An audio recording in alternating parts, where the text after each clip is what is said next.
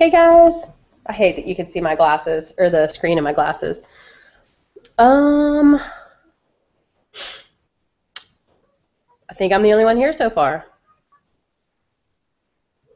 Looking, looking for viewers. Yay! It's Jessica. Um, just in case anybody is on, I do want to do a quick um, screen share. I think I can do it this way. If I share it this way? Nope. All right, what I was trying to do is show you guys my screen. Um, up in the top corner of your screen on the left-hand side, there should be a blue box with white right, like white lines. That's my daughter Arabella's hand. Get out of here. um, Hello. go to bed. Um, if you click that button, that is your chat button. So you should be able to, it'll bring something up, and you should be able to type on the side just like you do in live stream. All right. So if you're here, if you would toss your name in that box, um, or just say hi, so I know that I'm not talking to myself. Um, go Paisley in the back there. We undecorated for Halloween, so my, my cabinet's looking very bare, and this week we will be going right to Christmas. Uh, we don't host Thanksgiving, so we um, choose to, to not decorate for ha- Thanksgiving, still celebrate it, we still love it, we still eat our turkey mashed potatoes, um, but we go right into Christmas decor. So, all right, I am going to get started. Yay! There's a viewer. Um, viewer, I'm not sure who it is, but if you click on the chat button up in the top corner, it's a blue box with white writing. Uh, you should get a little chat box on the bottom, and you can type your name, say hi. Uh, okay, so we're gonna get started. Oh, they went away. I scared them. Okay. Yay, they're back. All right, so this uh, call, as I sit here looking at all my papers, what am I doing here? This call is on organization um, and pretty much just getting organized to better use your time. Um, you know, time management and organization really go hand in hand. I am probably going to offend people, and I do apologize up front for that. But I hear a lot of people say to me all the time that I don't I don't have time. I don't have time to uh, to make my follow up phone calls. I don't have time to work Pink Zebra. Like I'm just I'm just way too busy. And and I get I get it. Okay, I do want you to keep. I I know like this is my full time job, so I have you know a lot more time than a lot of other people do right now. However, when I started Pink Zebra, uh, for the first two years I did Pink Zebra, I was a full-time teacher. Uh, we did I did homebound on the side, so that was anywhere between five and ten hours a week after school. I was a full-time wife and a full-time mom of two kids and two fur babies. So my kids uh, were a little or a little older. I mean, they're still they're still babies, uh, eight and five, or what was it, three and six at the time, um, but I still had to, you know, my son was at the point where he was needing to go to different places. So he was doing karate. So we were driving him to and from. And, um, you know, thankfully my husband was very supportive. That will be another call, possibly next week. Um, but the whole thing is that you, you have to you have to make time. If you don't want to make time, that is that is fine. You don't have to do it. Um, again, not everybody's going to work it the same way. I know what I want out of Pink Zebra, and I'm going to keep going until I get it. Um, but I had to make some sacrifices, and I'm not going to make this call about me, but I do just want you to know.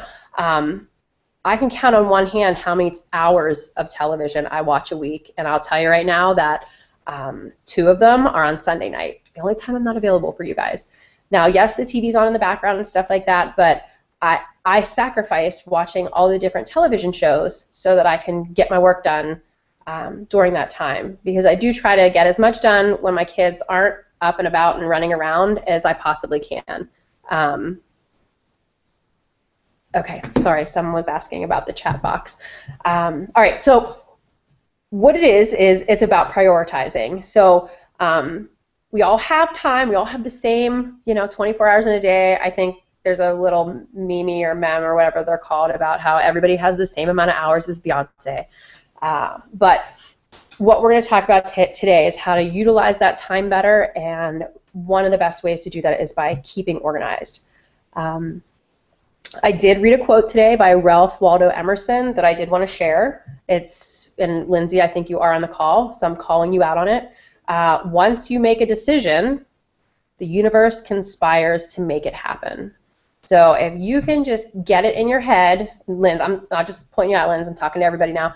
Um, if you can just get it in your head and you make that decision, and again, if it wants, if you want it to be to quit your job, or if you want it to be three parties a month so that you have an extra couple hundred dollars, whatever you are saying, whatever decision you're making, you need to you need to stick with that, and you need to really try hard not to give up. And and you will get discouraged, and that's why we're here to to get you guys pumped up again.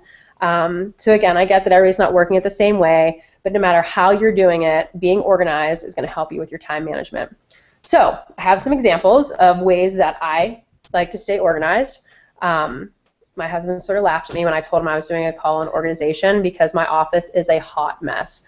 Uh, every pink zebra product is now sitting on the floor of my office as I'm preparing for the events that are coming up. Um, so he was like, "I'm sorry, what?" I said, "Yeah, I am organized if I just implement everything that I that I have, you know, to stay organized." So we're going to start with parties, and one of the ways that I like to organize my parties is with this envelope right here. So um, these are nice because order forms fit right inside, and each one of them, if if you're really tech savvy, you can pop these right through your printer and print all this stuff out. I I like writing it with a Sharpie marker. So on my envelope, I have the pers- a spot for their name, the address, their phone number, the date of their party, the date I closed their party, the subtotal, um, the total cost with shipping and tax, everything, and the number of items. I also include a little section up here for miles because in my mind, I really want to write, that down every time I, I do a party so that um, in February when I'm doing my taxes, I don't have to get my calendar together and look up the Google Map every single party I've ever been to. So it's a good idea if you get in the habit of writing the miles down. Um, don't forget to include to and from, and you're going to and from the party. And if you're dropping the party stuff back off later, you want to include that to and from again too and then the party number. So this is all my, on my front. Um, oh, I usually put bookings on here too. And then on the back, the back is where I write the hostess rewards. And as you can see over here, I have two other columns. I have ordered and I have added. So let's say that the hostess gets three free items. And she wants a jar of pumpkin spice. She wants uh, a jar of toasted marshmallow, and she wants a jar of gentle rain. All right. In my opinion, just not a good use of free items. And I'll even tell her, like, you know, you can get like any item in the entire catalog for free. Why don't you make the most expensive one? And she's like, no, I'm good on those. So I write those three things here as that's what she wanted. But then I go over here and I I put what I want. So if I want to order to a twig pumpkin, or if I want to get the gunmetal sh- skull shade, I'll actually order that as the free items, and then I front the cost for her three eight dollar jars of sprinkles because in the long run, when I resell these, I'm gonna make that money back anyways. Or let's say everything's golden on here, um, I don't change the order at all, but maybe I add, um, you know, my mom wanted some stuff, so I add that to this party. So I make sure that if I'm adding anything, because I was not doing this before, and all of a sudden I'm like, oh, I have like five extra jars of sprinkles. I don't know where these came from. So I have to start writing things down, because in my mind, if I don't write it down, it doesn't happen. So this has become very, very helpful for me.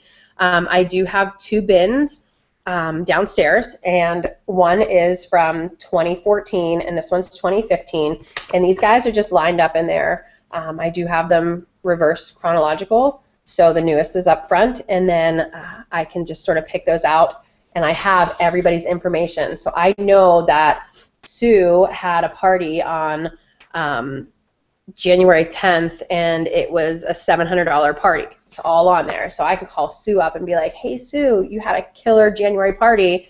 You know, I offer 10% off. You want to try it again, or, you know, whatever it might be. So these are very, very helpful in staying organized with parties.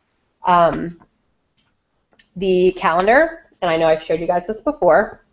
This is my booking calendar that Mary Christensen suggested. Um, anything that I can work. So this is just like a, this is that's all this is for. Like I don't go crazy and write anything else in this. I highlight all the days in the month that I can work, and the goal is to highlight three months out. I'm gonna look like a, a bad leader here in a second because my January is not highlighted. Okay, so highlight the days you can work for three months out.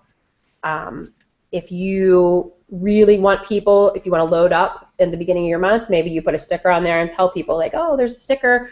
If you book on a day of a sticker, you get an extra free item or you get an extra special surprise, whatever it might be. When I book something, I write booked on it.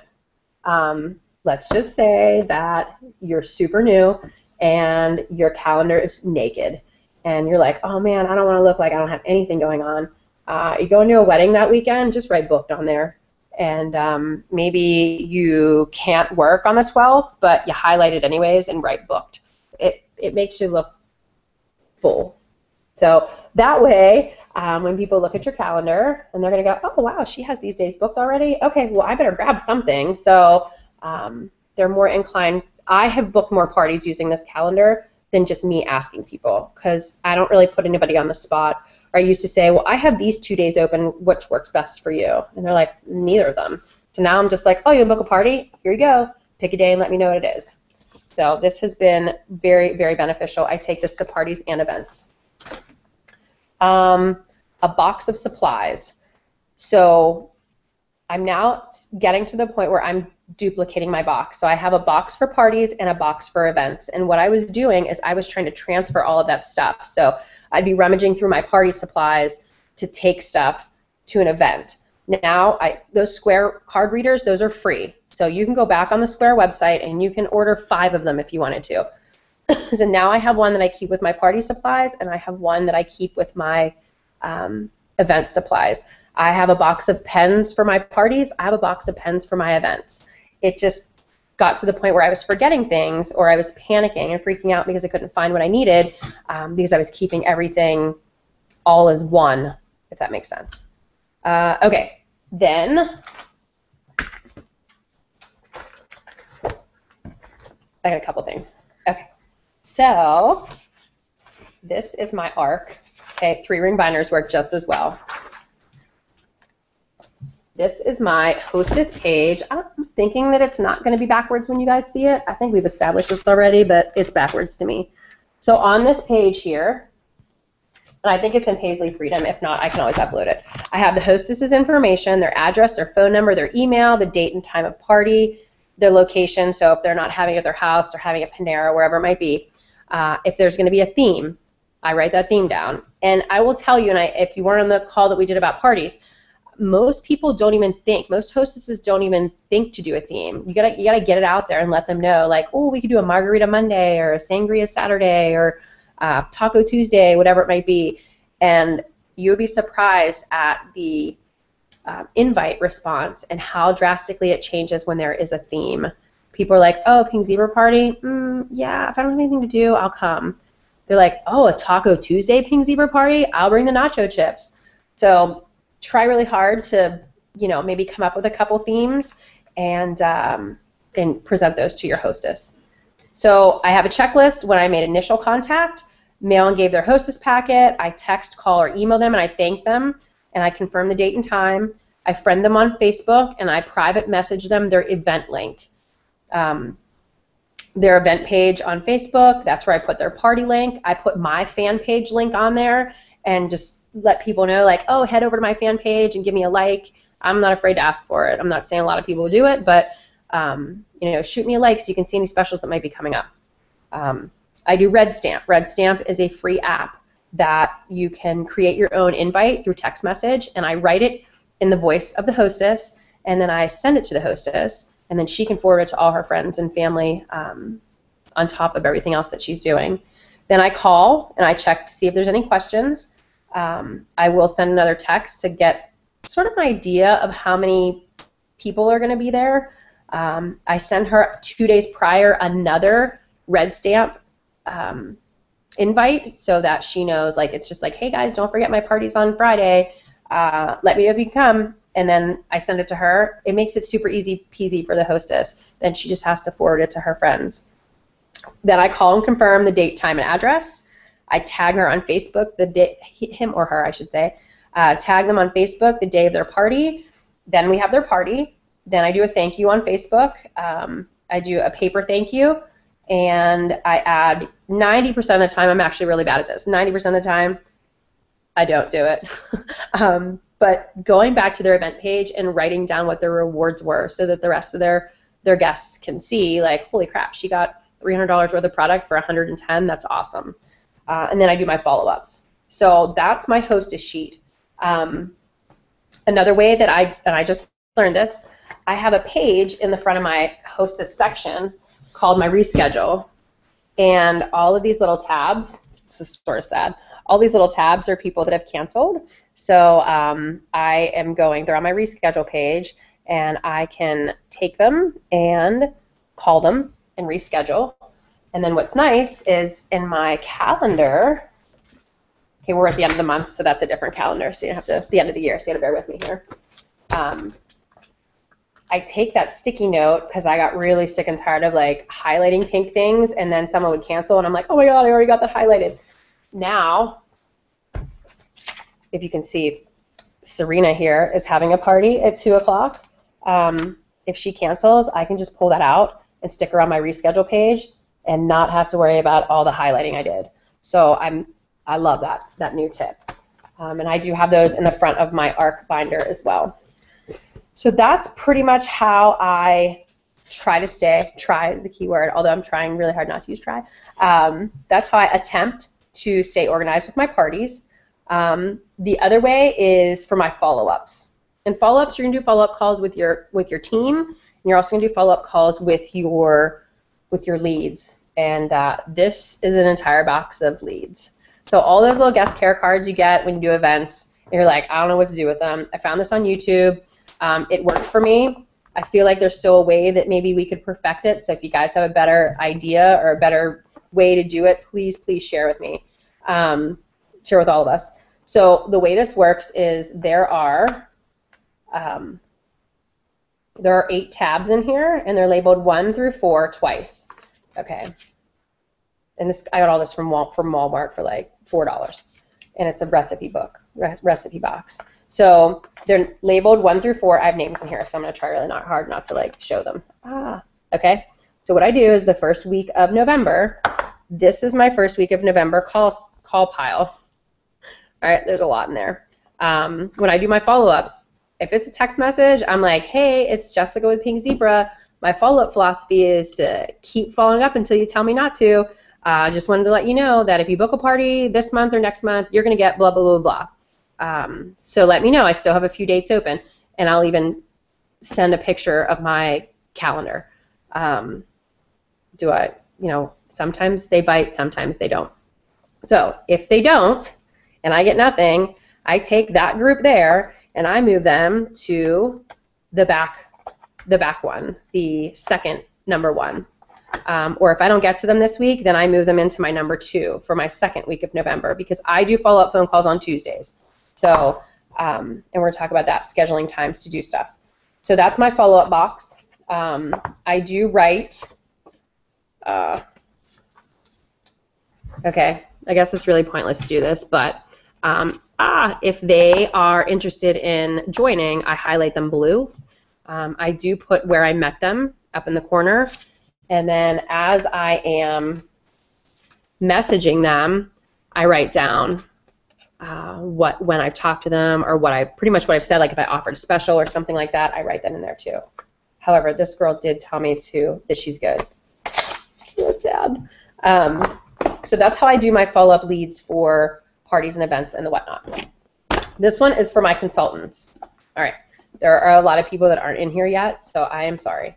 This is for my front line um, or my adopted front line. We'll just leave it at that. Same thing, one, two, three, four, in here twice.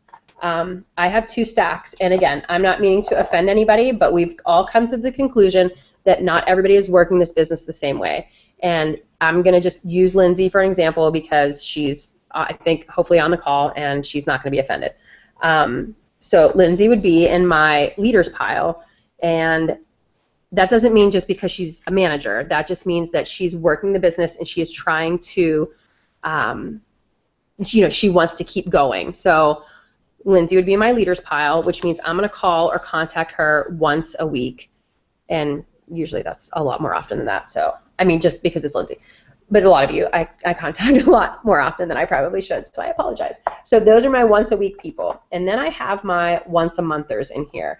And it does make me happy that they're actually a lot smaller um, because the majority of people do want assistance. Um, and I contact them you know, if I contact them once a week, it's not anything like, hey, how many parties are you having, and have you done this, this, and this. It's, hey guys, do you, you need any help with anything? Like, how's it going? Or, hey, I know you had an event this past weekend. Did everything work like you wanted it to? I'm not, I'm not pressuring anybody. You don't have to call me and tell me what you're doing. Um, we're just here. You know, your your sponsors are just here as support. Like people ask, you know, well, are you my boss? No, I'm not your boss, and I don't want to be your boss you're your own boss. So I'm just here as your coach to, to help you out. So that's how I organize my consultants and how I contact them. Um, or if there's anything special, like um, if they promoted, like I'll write down, uh, you know, the day they promoted and um, you know stuff like that. So that's all in here. So that is how I do um, my follow-ups. I wrote something on here and I don't know where I wrote it. Okay. so organized. um, the next one is working your business, and this has been huge for me. I don't care if you're going from a consultant to an executive consultant, executive consultant to a manager, manager to EM, EM to director, whatever it might be. You, you have to have a plan. And I, our, our maps are very cute on our back office, but they do not, for me, I was not getting, I, I didn't have enough room. I'm very visual one entire wall of our office downstairs is pretty much wallpapered in giant, like seriously like this big, those big, huge pieces of construction paper. And what I do is I, I gave you as a min- minimum size here. Um, I fold it in half. These are made up people, just saying. Um, and this is what I did on my, to help myself know what was going on for, for the EM promotion. Okay, so let's just say you're going to manager. You need, and I only did two, you need four, I'm sorry, you need two executive consultants and you need two active consultants. So what I did, we're going to look at Joan over here. Okay, so Joan needs one executive consultant. So Sally's looking pretty strong here. Sally has Sam and Patty that are active underneath of her. So I know that Joan needs one more person for her to promote to executive consultant, as long as she puts her 400 in. Now, I always put an extra person here. That's my CYA person. Um, I like to have four. I encourage people to have four because if number three poops the bed on you, you still have number four to CYA. Um, so if number three goes inactive and four is filled and, and you have one, two, and four active, then Joan's still good. Um, she's happy. She's still, you know, is, is a paid as executive consultant. So that's why I aim for that. And then I see Janet. Janet has Jessica underneath of her. Um, so it looks like Janet wants to build, but right now she just has one recruit. And then we have Kim. And then we have Val. And uh, same thing here. Yes, we only need two executive consultants, but if Janet fills up and becomes an executive consultant and then decides not to put her 400 in, and this happens, then at least if Kim was an executive consultant too, you would have someone to fall back on. So try to build at least one more of whatever you need to CYA. Um, same thing down here. We only need a one, two active consultants, not executive consultants. Um, but I have a fifth one down here too. Okay, so what are these numbers next to it? When I'm looking at promoting, I can see, okay, Joe needs one more, and then she's going to minimum. She needs one more, and she can promote. Um, Janet needs two more. Kim needs three more. All right, and once this happens, once these people all fill in, then Joan will promote. So if you're going, again, whatever, want to go to EM, then you would have four of these up, okay? And here's Sue. Sue needs three here, one here, three here, and one here for a total of eight. Now, some people look at those numbers and they're like, oh my God, I can't believe I got to try to get eight people. I looked at it from the positive, like, okay, I only need eight people for this to happen. And I'm not going to assume the responsibility of recruiting all those people. Like, Sue's going to get out there and she's going to do what she needs to do. Hopefully, she's sharing. If she can get one or two, then maybe I can turn around, I can help her, and I can move someone under her. One, yes, Sue promoting is going to help me, but if Sue promotes, it's going to help Sue. She's going to become more confident. She's going to want to share the information more. She's going to feel better, and in turn, it's, it is going to help you as her sponsor. So I don't understand how people don't help their sponsor, their sponsors don't help them because if, if you recruit somebody and they do well, it benefits you. So it's going to benefit you to turn around and help them and answer their questions and give them guidance because in the long run, it, it helps you out. So be nice to your recruits. Um, that's that. Now, what I was doing, waiting the beginning of the month, and I was panicking last month. Let's see. So Joan would need $400 in sales, and Janet would need 400.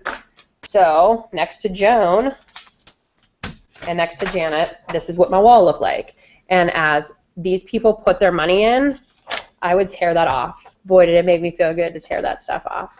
So again, I'm very visual. I like to see that. I like knowing what was going on, um, and it just gave me something to feel good about when I got to tear those those numbers off. So this was extremely helpful. You pretty much get the same thing on the maps. Um, this is just a bigger version.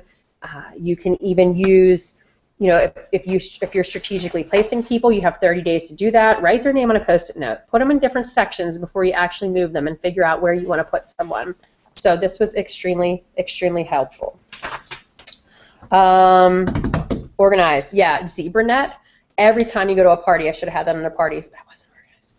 Um, you always want to check the back office for out of stock.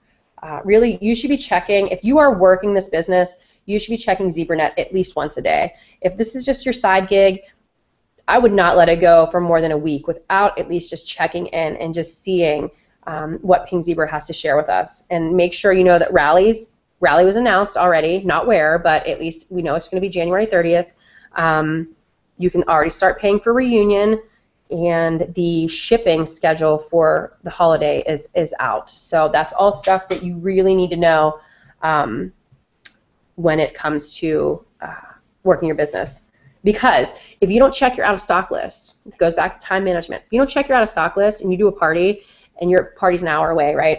And you come home and you get all your stuff and you're putting it all in, and you notice that five people ordered the holiday hangouts, which are not in stock right now. Okay, now what are you gonna do? You gotta call all five of those people and be like, hey, uh, the holiday hangouts aren't in stock right now, but um, this thing is, and that would be great. Would you like to try that? Or what would you would you like your money back? Or you know, however you're gonna do it. The thing is, is you just wasted probably an hour of making phone calls because you didn't take five minutes you don't even need five minutes to check the out of stock list. So really, it's about just being organized and um, I forget sometimes, which is nice because you get your phone, you just hurry up and pull it up. I screenshot it and then I take it to the party with me, so I don't have to keep logging back on. Um, so use ZebraNet. ZebraNet should be your best friend. Okay, your schedule. You want to have a schedule. Um, I schedule days. Uh, some people schedule hours or 15-minute increments. Um, again, if you're not working the business full time, you know, you still want to devote something. You want to treat it. Lindsay talked about this last week. If you treat your business like a hobby, it, that's what it's going to be a hobby, and that's how other people are going to see it. If you treat your business like a business, even if it is a two-party a month business, if you treat it like a business, people will act like it's a business. Um, make a day that you just do samples and do it during you know the commercials or while you're watching TV or whatever it might be sit down and make your samples, um, make your packets, uh, do your follow-up calls, schedule a day or a time that this is when you do your follow-up calls. I hate them. I hate Tuesdays because I hate making follow-up follow-up phone follow-up phone calls, but it has to get done. Um, schedule a time or day where you do your team follow-ups. Now, I gotta work on this, but folders. Okay, so folders on your phone. So many of us use our phones for Facebook parties, um, just your events, whatever it might be, just posting stuff, it is going to be beneficial to you if you have a section on your phone that is just devoted to Pink Zebra.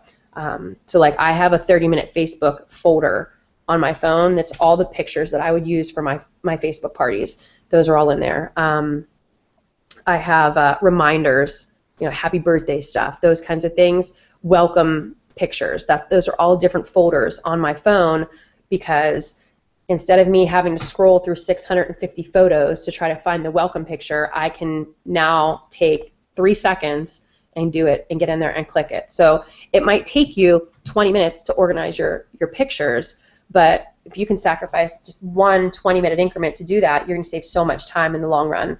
Um, so just take that organization and just doing it a little bit at a time uh, will help you out. So same thing with emails. I'm really bad about that. Um, I have like 750 open, like they've been read, and I just don't want to get rid of them, and I don't know what to do with them. Make a folder on the side for fundraisers, and every time you get a fundraiser approval, move it over there so that you know if if it's in question, you don't have to scroll through 700 emails. You know that you are in the habit of moving it over to this folder. So you can open that folder up for fundraiser and say, oh, look, yeah, on October 15th, I got an email that said that this fundraiser was approved boom, you're good. Um, or even if you have certain fundraisers that you do all the time, give each one of those people or those organizations their own folder in your in your email so that you can keep all of your correspondences. All right, same thing on your computer. If you have if you use your computer to post pictures or uh, whatever it might be, organize those files on your computer so that they are more easy to find. Um, Google Docs is awesome, and I have just gotten into moving things into like I have a recruiting folder. Um, I have a party folder so that I know that if I'm talking about a party or if I need something about a party, I just click on that. I don't have to scroll through, you know, 57 documents to see where I'm gonna, because um, I can't remember when I name things. It's like party on the go one, party on the go two, party on the go five.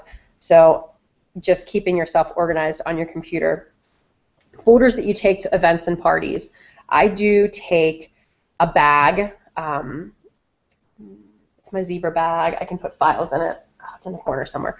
But I have my fundraising information in there, packets. I have joining packets in there. I have extra order forms, coloring sheets. I printed out a Paisley coloring sheet, like a thousand copies when I first started.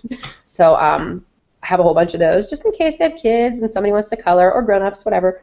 Uh, blank paper and wish list, things like that. So I keep that with me, and I do take that to all of my parties and all of my events uh, just because then I'm not getting stuff wrinkled, you know, and I know exactly where it's going to be. All right. Uh, okay, so we talked about it pretty much being organization, uh, time management, and, and prioritizing. So I looked up a whole bunch of, I heard the other day, um, I'm all into this whole minimalistic, minimalistic living, because, um, you know, we have a ton of crap We've told much, so much stuff in our house, and it is hard to be organized, and it makes me sick because it's like I feel like my kids are so spoiled, and um, I just see crap everywhere at all times. So I'm like, all right, I'm gonna look into this. And now I'm not going crazy. Like there's some people that only live with 100 items, and I, I can't. I'm like, all right, is that my phone and my charger, or can I count that as one? Um, you know, stuff like that. So I'm not going that crazy, but we did downsize a lot. And as I was looking on this information, I found an article about what successful people do every day. Um, and President Obama, Steve Jobs, and Mark Zuckerberg, who is the Facebook guy, um, they all have something in common that I was very surprised about. And um, they wear a uniform every day. And I thought, okay, no, they don't, because in my mind, a uniform's like khaki pants and a red shirt, or like, um, you know, black black slacks and a white dress shirt, whatever uniform. Steve Jobs wore a black turtleneck every day. That was his work uniform. Uh, President Obama, I think they said he either wears a gray suit or a blue suit every day. I think he wore like a cream colored one one day, and people like lost their minds. Um, Mark Zuckerberg, his his work uniform is a t-shirt and a hoodie right? And it sort of sounds crazy, but I started to look into it, and their philosophy is that they don't want to waste their energy on silly things. Okay, standing in front of your closet and staring at your closet for 20 minutes trying to figure out what you want to wear is a waste of time, in their opinion. Okay, I'm just I'm just throwing it out there what these successful people do. I'm not saying to go get rid of all your clothes, um, but it just goes back to priorities, and their priority was to gain time, and by doing it, they stopped wasting their energy on these types of things.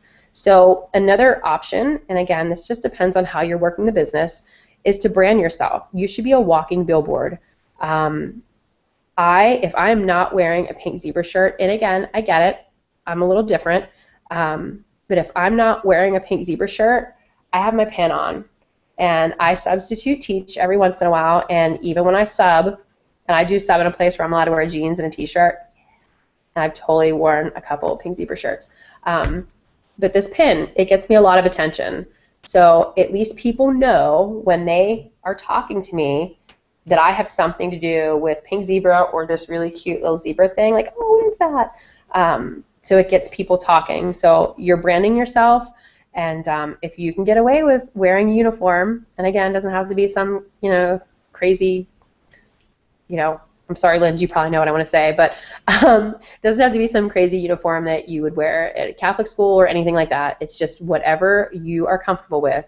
That's pretty much what you wear every day. It doesn't have to be the same thing every day. Like you can get like four pair of jeans or five different kinds of T-shirts, but um, you know, it's just making your choices easier. So now instead of having 20 minutes of picking out your outfit, you've gotten dressed in five, and now you have 15 to go answer some emails or something along those lines. You want to make time for emails. Um, you want to schedule social networking time. Um, I know Belinda Ellsworth talked about this when we were in Nashville, and she schedules 15 minute increments morning, afternoon, evening, and then she allows herself about 30 minutes after work is all finished to troll Facebook um, because that's what happens. If you don't schedule your time, I have to set an alarm on my phone for 15 minutes because if I do not, I'm watching cat videos. I like I don't even know how it happens, but you next thing you know you click on something and you're like, oh that cat's so cute, and that leads you to that next cat video. And then there's dog one, and then there's yelling, screaming goats, and next thing you know it's been like 30 minutes, and you know you've been watching goat videos. So schedule your social networking time. Schedule yourself time to to troll it. Um, get yourself into a routine. You want to also uh, fuel your mind. Like, I know that sounds silly, I know that sounds cheesy, but if you have the time, uh, go to the library and get a book on CD about, you know, it doesn't have to be about sales. Maybe it's about leadership. Maybe it's about talking to people. Um, maybe it's, you know, a self-help book. Maybe you have a hard time getting in front of people and, and you can find something to um, to listen to that would help you. you know, don't be afraid to do that. We waste, I don't want to say waste a lot of time, but we are in our cars a lot, especially if you're driving to and from these parties. And I'm booking parties like an hour and 10 minutes away. And I love my music. I don't have anything special. Uh, you know, I don't have Sirius or anything like that. But, you know, in one hour, you can hear the same song like four times. So it can, can get a little old. So if you have a CD or if you have a, um, a book on tape CD that you can listen to, that can always be helpful. And then pick your preference. Either wake up early or stay up late. You know, I'm not really good at getting up in the morning. Like, I just don't like to get out of bed. um, like, I'll get up, I'll be awake at six o'clock or even quarter to six, and I'm like, please go back to sleep, please go back to sleep instead of just getting up. Um, but I can I can stay up till two in the morning and be on the computer and do work. So pick your preference, and uh, it doesn't have to be four hours early. Maybe you get up an extra 15 minutes early and you get those emails out of the way before your kids get up or before you have to start putting lunches together or before you get in your shower. Um, but again, it's just about scheduling and, and getting your priorities together. So again, going back to that, um, those people that are really success, successful, and you can Google it, successful things that like top 10 list of people, top 10 list of things people do that are successful, um, or wealthy people, whatever it might be they're really big on one greeting everybody by name. I know that has nothing to do with organization, but I thought that that was pretty pretty good, and that's something that I know that I want to work on is when you're talking to people and just like, oh hey, how you know, this is this is Sally, and I'm like, oh hi, nice to meet you, I'm Jessica, but you know, next time I might say, oh hi Sally, I'm Jessica, and it's just I don't know, it sounds good, so I'm gonna try it. Um, focus on being productive and not busy. So don't you reward yourself for just spending time working. Reward yourself for getting something done. Um, you know, I don't know how many times I've sat here and been like, oh my god, I worked all day long today, and like nothing. I didn't accomplish anything on my list. Like, well, what did I do all day? Um, so just work on being productive and not just keeping yourself busy. Smart goals, and I do love seeing this because I know that's something that Pink Zebra really um, has promoted a lot. I do believe you can find that on your back office. Smart goals. That means that you're writing goals that are specific, they're measurable, they're attainable, they're relevant, and they're timely.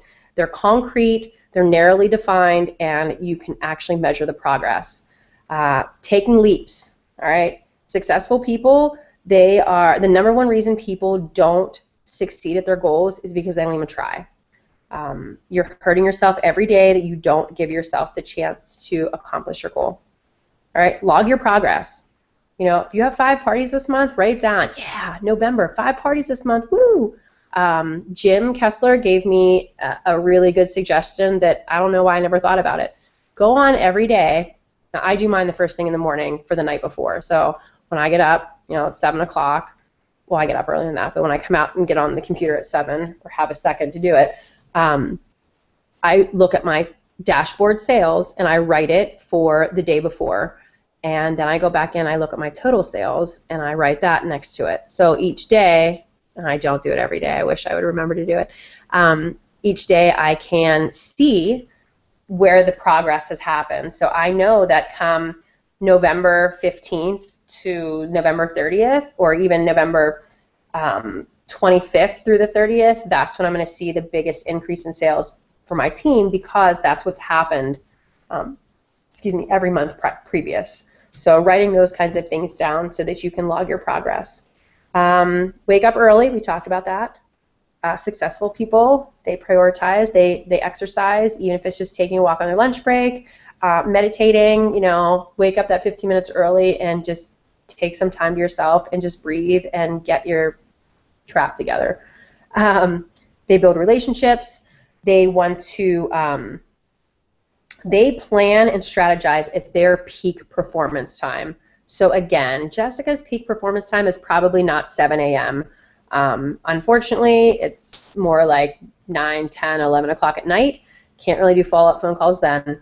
Um, but at least I can make my plan and I can strategize. Strategize. Yeah. Um, they plan their day before they go to sleep.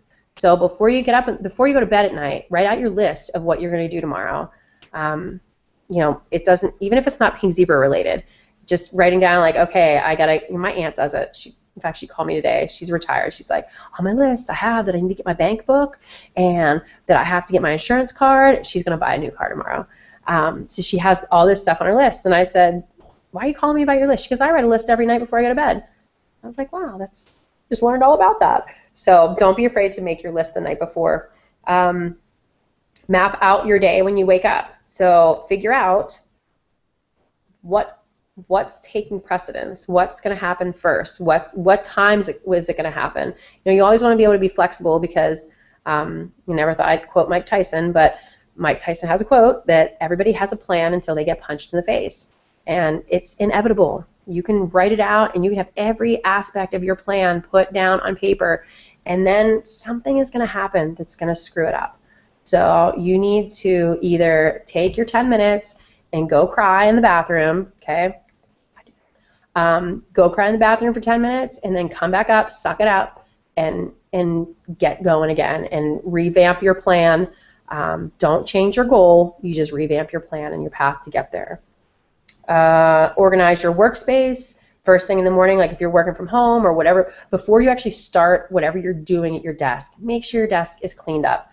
Um, as, and I'm so glad you can't see my work area right now because there's stuff everywhere. Um, not practicing what I preach. So just making sure that you, because if it's organized, then again, you're not wasting that time looking for things all over the place. Uh, everything should have a home. Um, oh, successful people really hard time understanding this because I have like super ADHD. Uh, they don't multitask. And I thought about it and I'm like, what? Everybody multitasks, right? Like that's how it works. Um, Belinda Ellsworth had talked to us at, at Rally in Nashville um, and how men and women are so different. And as this is happening, Lindsay and I are sitting there, I'm like, oh my God, this is so true. Like, I can't believe it.